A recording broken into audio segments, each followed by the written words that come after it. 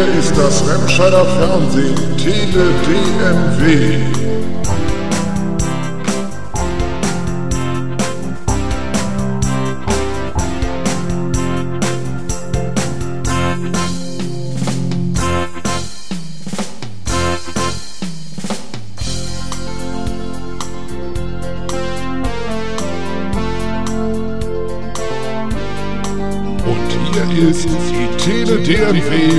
Wocheninfo.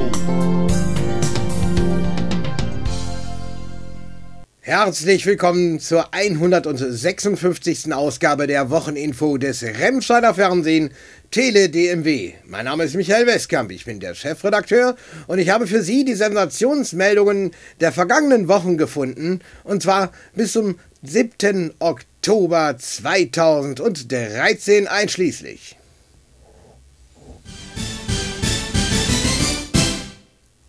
In unserer ersten Meldung fragt man sich, was macht man in einer Schule außer Lernen? Es gibt Experten, die wissen es einfach besser, was man in einer Schule machen kann. In der Zeit vom Montag, dem 30.09.2013, 19.30 Uhr bis zum 1. Oktober 2013, 6.45 Uhr, drangen bislang unbekannte Täter in das Gertrud-Bäumer-Gymnasium sowie in ein städtisches Verwaltungsgebäude an der Hindenburgstraße ein. Im Schulgebäude hibbelten und traten die Einbrecher mehrere Klassenzimmer und Bürotüren auf, unter anderem zum Sekretariat, Schulleiterbüro und der Cafeteria. Mit einem vorgefundenen Generalschlüssel öffneten sie weitere Türen. Die Diebe brachen gewaltsam Schränke und Schubfächer auf, durchwühlten sie und warfen Gegenstände auf den Boden. Erbeutet wurden mehrere Beamer, Notebooks sowie Bargeld. An dem in unmittelbarer Nähe liegenden Verwaltungsgebäude schlugen die Täter ein Fenster ein und traten im Inneren eine Bürotür auf. Ersten Ermittlungen zufolge entwendeten sie hier nichts. An beiden Tatorten sicherten die Kriminalbeamten die Spuren. Die Ermittlungen dauern an. Um einen anderen das Einparken zu ermöglichen, lenkte am Dienstag, dem 1. Oktober 2013, ein 61-jähriger Citroën-Fahrer sein Auto in Richtung einer Busspur an der Bismarckstraße. Dadurch musste ein 49-jähriger Busfahrer, der mit seinem Linienbus auf der Spur unterwegs war, eine Vollbremsung einleiten. Eine 11 jährige Schülerin prallte mit dem Kopf gegen eine Abtrennscheibe, die zerbarst. Auch zwei weitere Schülerinnen, 13 und 16 Jahre alt, erlitten leichte Verletzungen. Die drei Mädchen wurden mit dem Rettungsfahrzeug ins Krankenhaus gebracht, konnten dieses aber nach ambulanter Behandlung wieder verlassen. Es entstanden mehrere hundert Euro Sachschaden. Der Citroën-Fahrer, der zunächst nichts von dem Unfall mitbekommen hatte, konnte später an seiner Wohnanschrift ermittelt werden. Ein 27-jähriger Fußgänger wurde am Samstag, dem 28. September 2013 gegen 1 Uhr nachts an der Lüttringhauser Straße Opfer von Schlägern. Der Mann hatte an der Haltestelle Blume seinen Bus verpasst, als ihn unvermittelt drei bis vier Personen angriffen und zusammenschlugen. Der 27-Jährige musste später im Krankenhaus behandelt werden. Die Täter konnte er nicht beschreiben. Die Polizei sucht nun Zeugen, die den Vorfall beobachtet haben oder sonstige Hinweise zu den Schlägern geben können. Telefon wie immer 0202 284 0. Wir haben auch erfreuliche Meldungen. Es gab was ganz Tolles in Remscheid. Wir hatten Besuch von einem berühmten Schlagerstar. Tom Astor war am Freitag, dem 4. Oktober 2013 in Remscheid. Das Möbelhaus Knappstein lud ihn zum zweiten Mal zu einem Jubiläum ein. Vor elf Jahren wurde jemand 50, diesmal 65 Jahre alt. Um 20.30 Uhr legte er auf einer kleinen Bühne los. Und ich gebe zu, die Veranstaltung ist wirklich gut gelungen. Probleme bekam er mit einem Fan, der nicht aufhören wollte, ihn anzulabern. Ich war's nicht. Während der gesamten Veranstaltung ärgerte er sich darüber, dass niemand in der Lage war, seine Playbacks leiser zu drehen. Da half nur eins, näher ans Mikrofon und lauter singen. Anschließend gab er noch eine Autogrammstunde. Ähm, ich darf euch herzlich begrüßen. Mein Name ist Andreas Knappstedt, das ist Annegret Schulte, das ist hier die Chefin in Remscheid und nebenbei meine Schwester. Wir feiern dieses Jahr unseren 65. Geburtstag und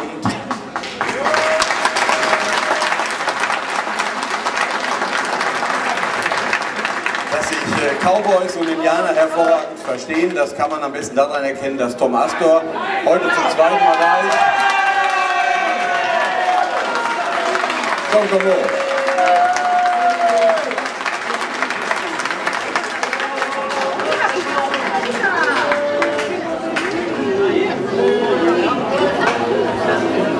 Tom, komm hoch.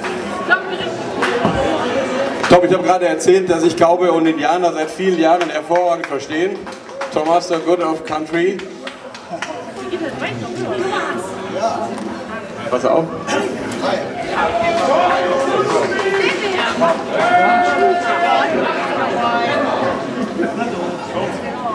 So. so, wir haben jetzt noch genau drei, die grüßen dürfen. Du bist dabei, du bist die Nummer zwei. So, und Nummer drei. So, Schnitt, halt. Wir haben drei gesagt. Na, jetzt ist Schluss. Aber ihr sollt sehen, Cowboys und Indianer haben keine Berührungsängste und Nähe ist äh, unsere Stärke. Da haben wir alle Spaß daran. Und äh, Tom, sag jetzt mal ganz kurz zur Begrüßung, bevor du anfängst zu singen. Ich freue mich, in Remscheid zu sein bei Knappsteins. Das ist, ja, ich freue mich, ich freue mich, euch alle zu sehen. Ich hoffe, wir haben ein bisschen Spaß miteinander. Ihr steht alle so weit weg, ihr könnt ruhig ein bisschen weiter vorkommen. Dann kommt ihr in bessere Stimmung rein. Ja, Tom. Ja, elf Jahre ist das her. Kann man sich das vorstellen? Nee. Dass ich zum letzten Mal hier, war das an der gleichen Stelle? An der gleichen Stelle, genau. Hallo, guten Morgen, Deutschland. Ich wünsche dir einen guten Tag. Hallo, guten Morgen, Deutschland. Ich lebe hier, mag. Hallo. Hallo,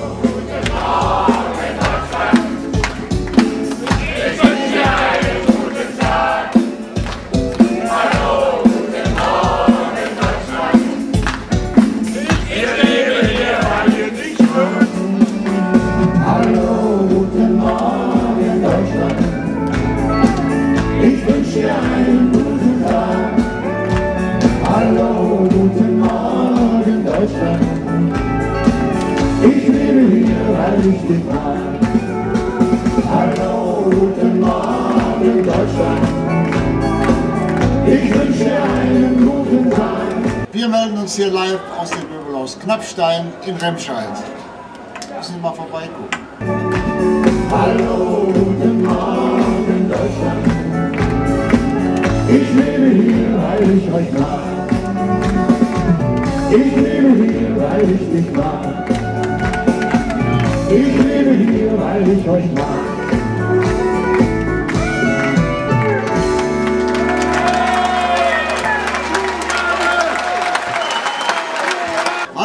Der Tom und grüße alle sehr vom Remscheider Fernsehen.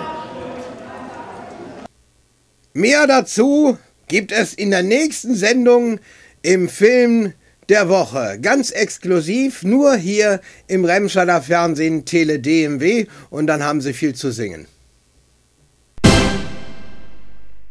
Wir kommen zu den Einbrüchen. Unter Ausnutzung eines Müllcontainers als Steighilfe sowie eines aufgehebelten Fensters gelangten Einbrecher im Verlauf der Nacht vom Samstag, dem 28. auf den 29. September 2013 in ein Autohaus an der Borner Straße.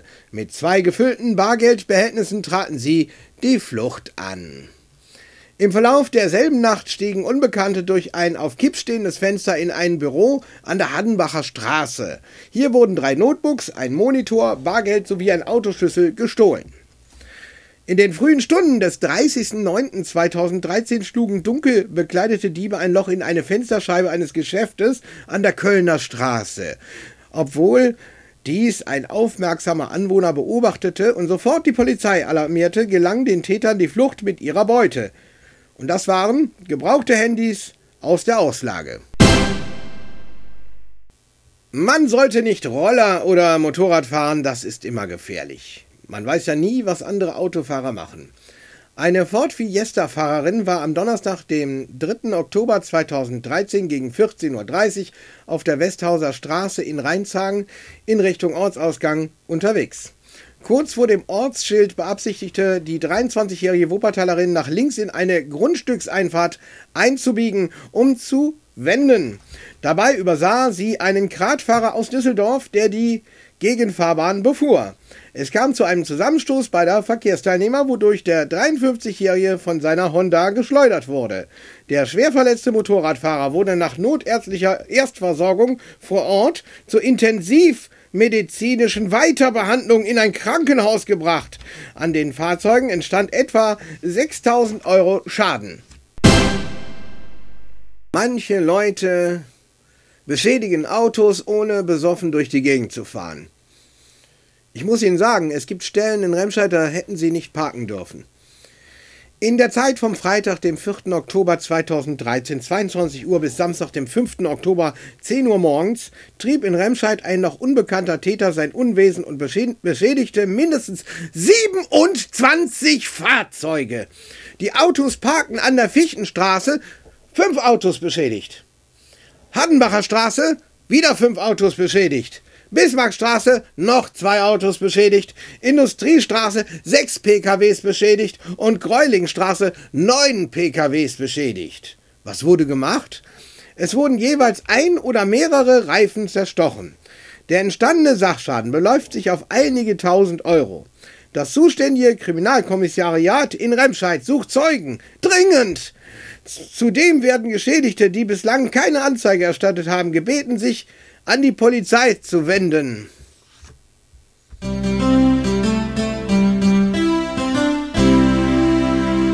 Und nun schauen wir mal wieder über unsere Stadtgrenze hinaus zu unseren Nachbarn nach Solingen diesmal. Was war denn da los? Am 5. Oktober 2013 machten sich gegen 16.15 Uhr drei Täter im Bahnhof Solingen-Olix an einem Fahrkartenautomat zu schaffen. Bei Eintreffen der Polizei flüchteten sie in verschiedene Richtungen. Nach kurzer Verfolgung konnte ein Täter gestellt werden. Die beiden anderen konnten flüchten. Sie entledigten sich jedoch auf der Flucht einer Geldbörse mit indischen Rupien, die einem zuvor begangenen Diebstahl zum Nachteil eines indischen Messegastes zugeordnet werden konnte. Bei der Durchsuchung des ergriffenen Täters wurden ebenfalls indische Rupien aufgefunden. Dieser wurde nach erfolgter Vernehmung entlassen. Dem Messegast wurde das Geld und die Geldbörse wieder ausgehändigt.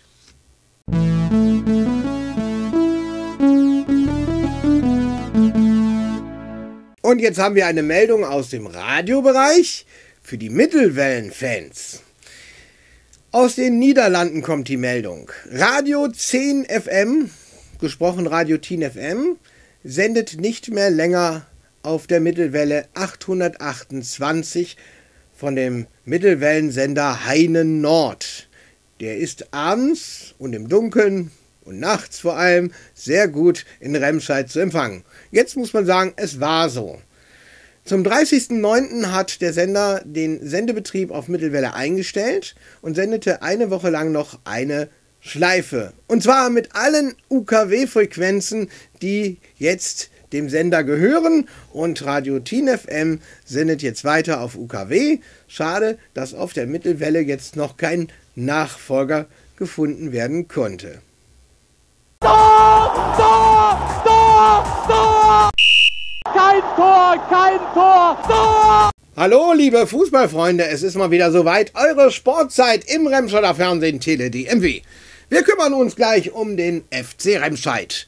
Aber vorher muss ich mal den Ermahnfinger zeigen. Es gibt doch tatsächlich Fußballvereine, bei denen geht alles schief. Oder sagen wir mal so, da können sich die Spieler und die Zuschauer nicht benehmen. Das gehört sich nicht, das ist unsportlich. Wir sind ja nicht im Boxkampf. Aber so manche vergessen das. Und dann rollt die Polizei an. Was da passiert ist? Es ist direkt an drei Fußballplätzen an einem Tag passiert. Da ging richtig die Post ab. Ich sag Ihnen mal was. Am Sonntag, dem 29.09.2013, kam es auf drei Remscheider Fußballplätzen zu Gewaltdelikten, die strafrechtliche Ermittlungen nach sich ziehen. Zunächst wurde die Polizei um 14.45 Uhr wegen einer Körperverletzung zum Sportplatz Hohnsberg gerufen. Hier soll während des laufenden Fußballspiels ein 28-Jähriger einen 23-Jährigen beleidigt und beim Verlassen der Anlage nach dem Spiel mit der Faust ins Gesicht geschlagen haben. Als das Opfer deshalb zu Boden fiel, trat der Täter noch mehrfach auf den jungen Mann ein und entfernte sich. Die Ermittler stellten die Personalien des Tatverdächtigen fest. Das war schon mal gut. Und es passierte noch was auf einem anderen Fußballplatz. Da gab es Folgendes. Gegen 15 Uhr wurden wegen einer größeren Schlägerei mehrere Streifenwagen zum Fußballplatz an der Neuen Kamperstraße entsandt. Bei Eintreffen der Beamten hatte sie, hatten sich die Gemüter wieder beruhigt. Anlass für die Auseinandersetzungen sollen die Entscheidungen des Schiedsrichters gewesen sein. Da kein lizenzierter Unparteiischer für das Fußballspiel erschien, einigte man sich vor dem Spiel auf einen Aushilfsschiedsrichter. Nach Zeugenaussagen sei der 24-jährige Spielleiter während des gesamten Spielverlaufs mehrfach verbalen Aggressionen seitens der Zuschauer und Spieler der Heimmannschaft ausgesetzt gewesen. Nach Spielende sei er durch zwei Spieler auch körperlich angegangen und mit Asche beschmissen worden. Als Spieler der Gastmannschaft schlichten wollten, seien auch diese attackiert worden. Die eingesetzten Polizisten nahmen die Personalien von mehreren Beschuldigten und Zeugen auf. Weil ein Schiedsrichter auf dem Sportplatz Klausen, und jetzt geht es um den dritten Fall, von mehreren Zuschauern verbal mit dem Leben bedroht wurde, musste gegen 16.40 Uhr erneut eine Streife an diesem Sonntag einen Fußballplatz anfahren. Die Beamten nahmen den Sachverhalt auf. Der 32-jährige Schiedsrichter stellte Strafantrag. Die Kriminalpolizei hat die Ermittlungen in allen Fällen aufgenommen. Tor! Tor! Tor! Tor! Kein Tor! Kein Tor! Tor! Und jetzt kommen wir zu unseren Fußballergebnissen unseres FC Remscheids. Der spielt ja in der Landesliga 1 Niederrhein. Und wir haben die Spieltage 4 bis 7 für Sie untersucht und es ist folgendes passiert. Am Sonntag, dem 15. September, war der vierte Spieltag. Der FC Remscheid spielte zu Hause gegen den VDS Nievenheim. 0 zu 1 verloren. Puh, wie geht denn sowas? Das kostet uns die Tabellenführung. Sonntag, 22. September, fünfter Spieltag. FC Remscheid spielt wieder zu Hause gegen den Wuppertaler SV2. 3 zu 2 gewonnen. Jawohl, so muss das sein. Am Sonntag, dem 29. September 2013, war der sechste Spieltag. Der FC Remscheid, oh weia, spielte gegen Turo Düsseldorf 2. Null Tore für den Gegner. Fünf Tore für uns! das ist gut. Da muss man noch was üben. Ja, und dann der letzte Spieltag, das ist wohl der frischeste. Der war am Sonntag, dem 6. Oktober 2013. Das war der siebte Spieltag. Da hatten wir den, da mussten wir zum VfL Benrad und haben gespielt. 2 zu 1, wieder verloren. Das kostet uns die Tabellenführung, Jungs. Ihr müsst doch jedes Spiel gewinnen. Ach ja. Ich sage Ihnen mal, wie es steht. Und zwar der aktuelle Stand vom 8. Oktober 2013. Auf Platz 1 ist der Kronenberger SC mit 19 Punkten. Auf Platz 2 der SC Düsseldorf West mit 16 Punkten. Und wir stehen auf Platz 3 mit 15 Punkten. Na, das kann schon noch wieder werden, oder? Zumindest wenn nicht geboxt wird am Fußballplatz.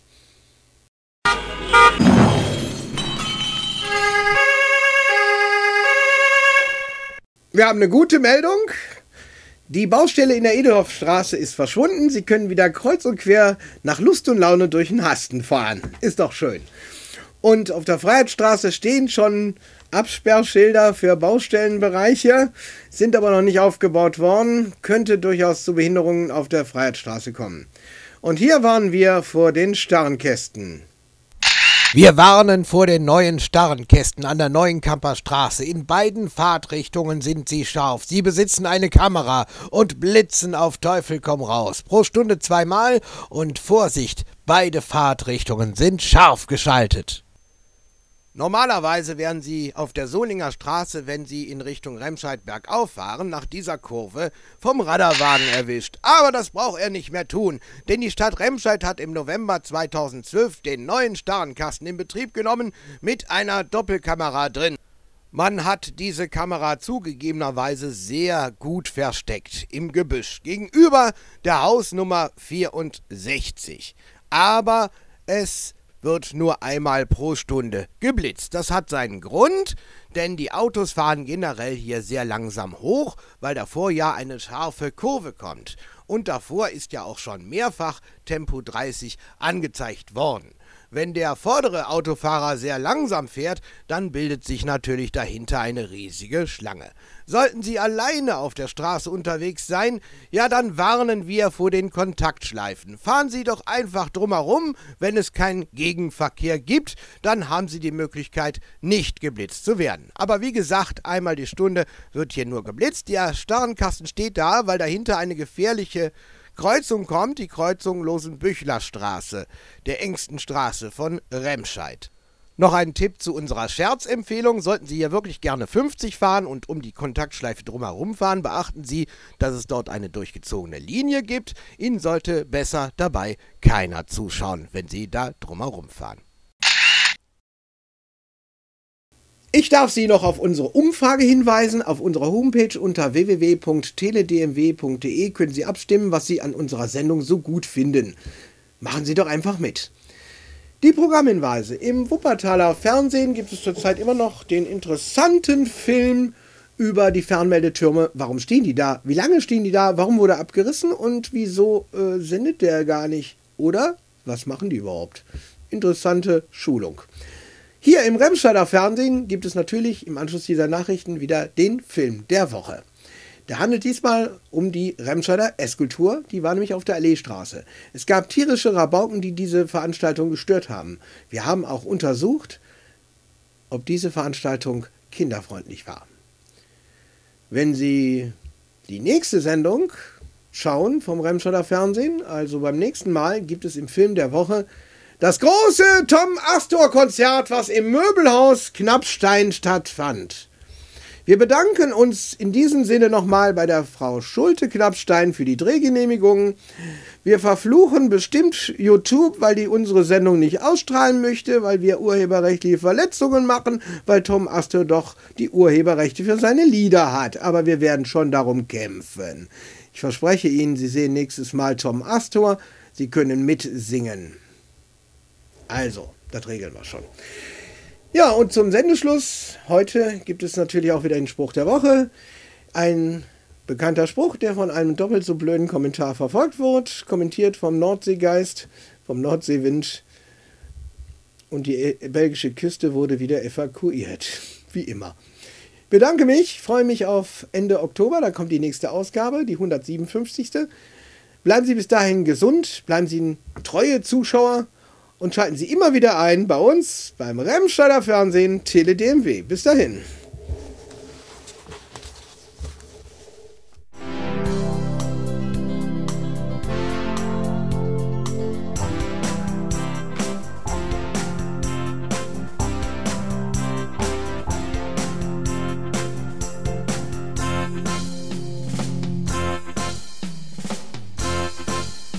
Hier ist das Remscheider Fernsehen, Tele DMW.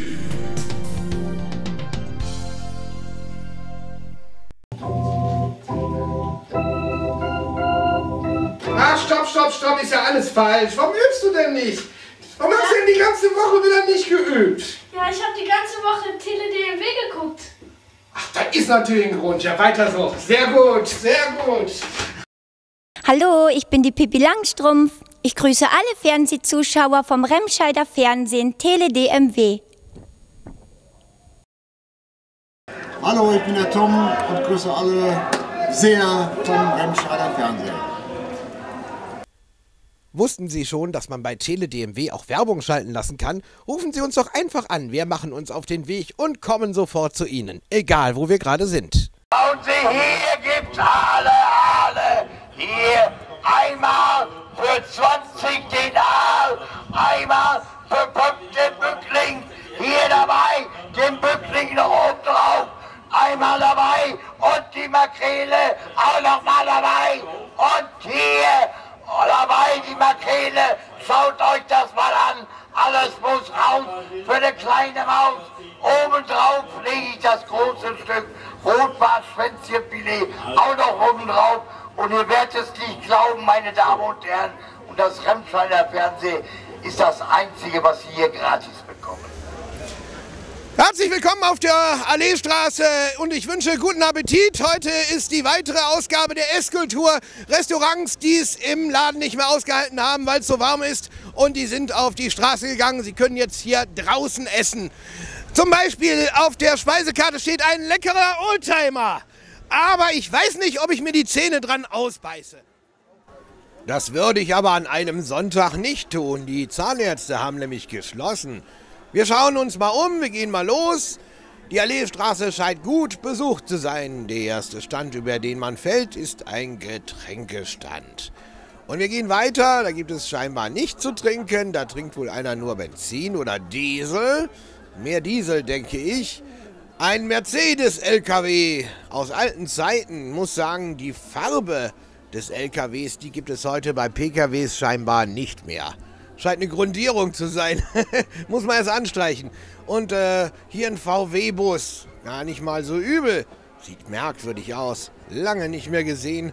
Oh, mit einem Privatzimmerchen drin. Schauen Sie mal. Die ersten haben an den teuren Sitzplätzen schon Platz genommen. Denn wer was essen will, darf sich hinsetzen. Wir schieben uns weiter durch die riesige Menschenmenge. Man kommt kaum dran vorbei, Ach, mal wieder ein Stückchen frei.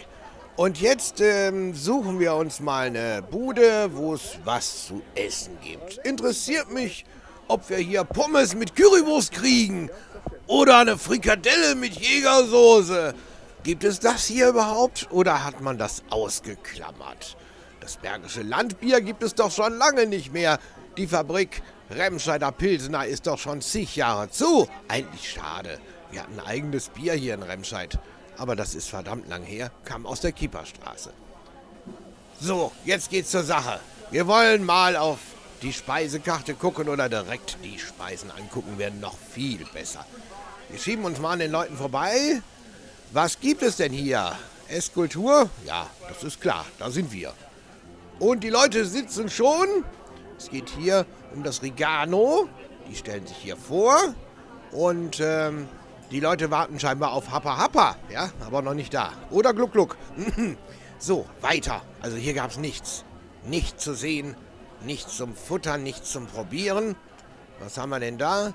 Ja, wir schauen noch mal. Hinter uns ist die große Menschenmenge geblieben. Ganz schön voll hier. Und äh, ob man da noch jeden Sitzplatz kriegt, sieht nicht so aus. Der Dame wünschen wir guten Appetit, aber es sind keine Pommes auf dem Teller. Wir gehen besser weiter. Wer hat eigentlich hier seinen Stand aufgebaut? Das ist das Restaurant Eschbach Talsperre. Gut, also keine Pommes hier. Weiter.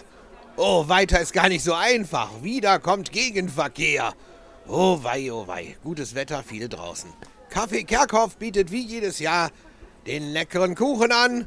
Direkt zum Kaufen und Mitnehmen. Aber für ein Mittagessen, nö, das ist nix. Aber lecker. Und das wird serviert in einer kleinen, niedlichen Schachtel. Äh, nur Delikatessen und die sind nicht ganz billig. Sitzgelegenheiten mal anders, in schwarz ist auch mal was. Auch hier kann man sitzen, wenn man Platz finden würde. Hier bei Kaffee Kerkhoff. Weiter, hier gibt's Filet vom, äh, was, Wolfsbarsch das scheint eine Fischbude zu sein. Ja, und äh, die haben ganz tolle Teller. Das Schützenhaus ist auch hier vertreten, zusammen mit der Klosterschenke. Die Speisekarte fängt bei 6,50 Euro an. Da kriegt man gerade mal einen Reibekuchen für. Hm, naja, wer es möchte. Einen Sitzplatz muss man halt eben mitbezahlen. Ne? So sieht's aus. Und hier habe ich eine Keule gefunden. Und damit die Gäste sich die nicht um die Ohren hauen, haben sie diesen Hirsch, naja, festgebunden, fixiert, in einer Schelle, damit das Tier auch nicht abhaut. Kann ja mal passieren, ja? Und das Restaurant heißt La Bodega. Und ich denke mal, wenn einer Hunger hat, kriegt er eine ordentliche Portion davon abgeschnitten. Könnt ihr mir mal ein Personal rausschicken, der das mal vormacht hier?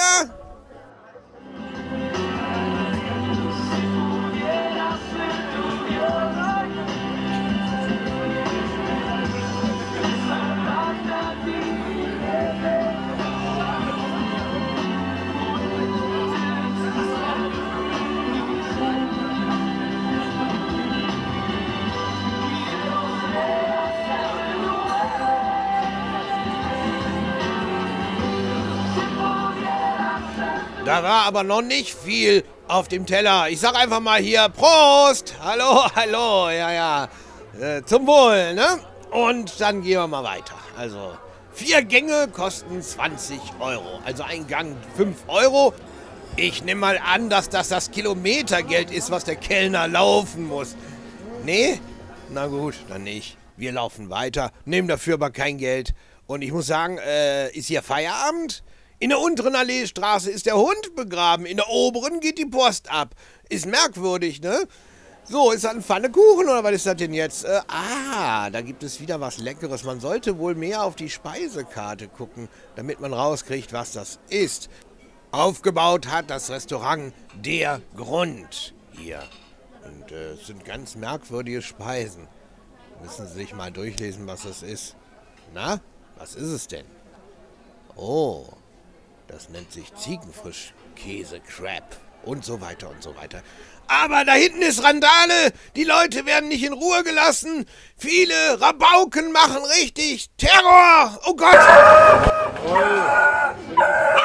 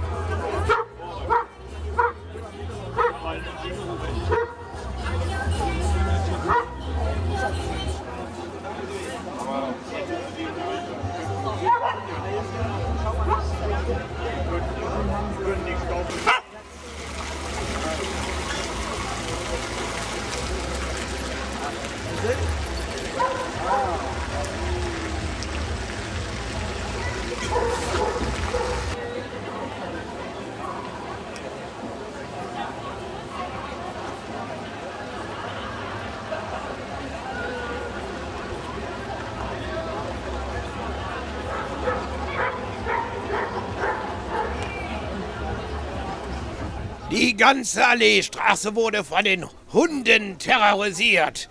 Hier ist die Ehrung der Hunde an diesem Stand.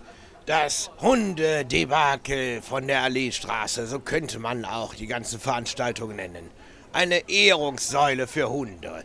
Hier an diesem Restaurant treffen sich alle Hunde und dann gehen sie los und machen quer durch die ganze Veranstaltung Gebell um die Leute wegzujagen, weil es zu viele sind. Ein super Auftrag für die Hunde. Aber sie würden besser arbeiten, wenn das Leckerchen etwas besser aussehen würde. Das mag doch gar kein Hund, was hier verteilt wird. Wie Sie wissen, habe ich eine andere Aufgabe hier. Ich soll herausbekommen, ob es hier für Kinder etwas zu essen gibt, wie Pommes mit Currywurst oder vielleicht sogar eine Jägerfrikadelle, kann aber auch mit Senf sein. Bisher haben die Stände hier kläglich versagt. Versuchen wir es nochmal bei Romanowski. Und dieses Restaurant bietet Sitzplätze an, aber viel zu wenig. Aber ich kann auch kein Leckerchen für Kinder finden. Hier sind Kinder unglücklich. Auch hier beim Nachbarn gibt es nichts Gescheites für Kinder. Sie mögen es einfach nicht. Die Erwachsenen finden Delikatessen natürlich toll. Und am Spatzenhof hier, da gibt es auch nichts Gescheites für Kinder. Ich muss sagen, diese Veranstaltung ist doch nicht so kinderfreundlich, wie wir dachten. Noch nicht mal ein kleiner Spielplatz wurde aufgebaut. Die Kinder sind traurig. Aber es gibt einen einzigen Stand, da werden Kinder glücklich. Soll es geben, haben wir gefunden. Es ist die Bude, wo eine Dose Haribo steht. Und da fühlen sich Kinder wohl. Schade, dass es nicht mehr davon gab.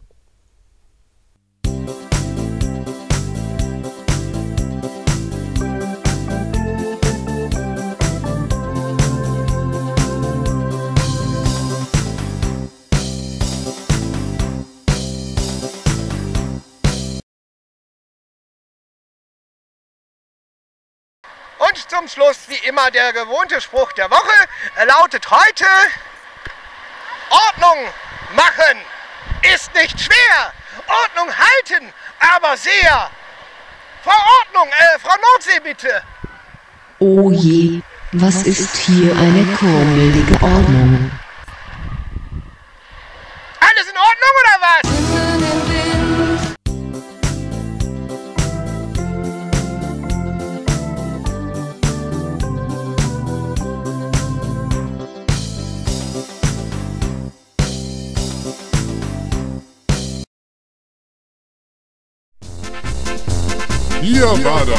Das Remscheider Fernsehen Tele DMW. Bis nächste Woche.